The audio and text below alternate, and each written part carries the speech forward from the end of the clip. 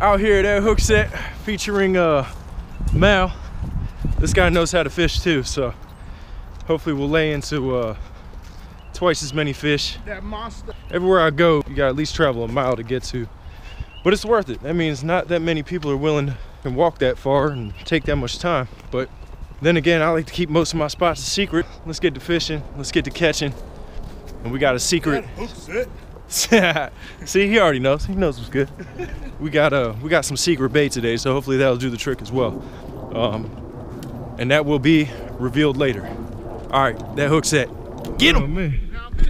Oh, Yeah. crossing creek overflows. Two at a time. Hell yeah, I got him. Drop. Yeah. Oh man, he's giving me the phone responsibility. Oh, sh- got it. All right, which one do you step on? I stepped on that little one right there. Step on the big one. We good. Yeah, right. And then that. No slipping Did today. yeah, right. Not yet.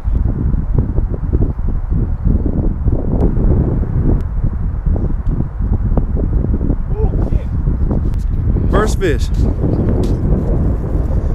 First fish. Definitely just took it and decided with it. Yeah, he did. Watch that drag. Get that drag ready, man. Is that last one ran on me. Oh yeah, it's a beast. That's a pig, son. In that same spot, right there in the middle, man. That's good. Don't even tighten it. Don't even tighten Don't it. tighten Don't.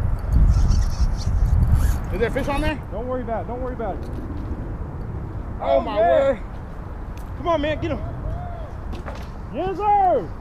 That's a good one like that, man. Yes, it is. Yes, yeah, I think it's him. Got him? Yeah. God.